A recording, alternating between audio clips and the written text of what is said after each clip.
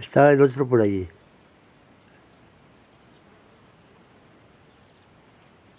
Estaba comentando que hay alguna gotilla. Ya.